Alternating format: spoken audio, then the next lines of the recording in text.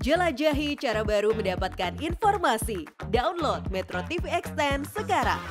Sementara itu merespon rentetan protes pembuangan air limbah nuklir, pemerintah Jepang dan operator pembangkit listrik bertenaga nuklir mengundang sejumlah media untuk menunjukkan bahan limbah nuklir yang dibuang ke laut aman dari bahaya radioaktif.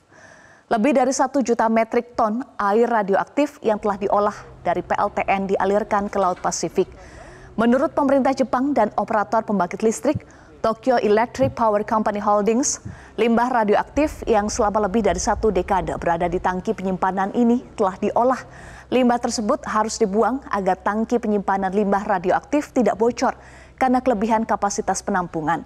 Pemerintah Jepang menyatakan lebih dari seribu tangki telah terisi dan Jepang membutuhkan lahan yang ditempati tangki-tangki tersebut untuk membangun fasilitas baru guna menonaktifkan pembangkit listrik tersebut dengan aman. Pemerintah Jepang juga khawatir tangki-tangki tersebut bisa runtuh jika terjadi bencana alam.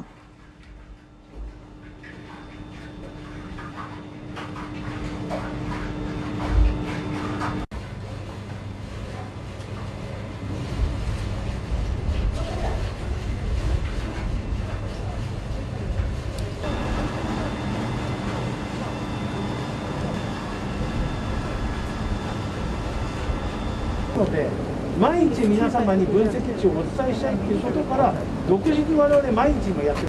放水管から取ります。The taste to take the treated water and the seawater are different. 約30分ぐらいだと思ってください。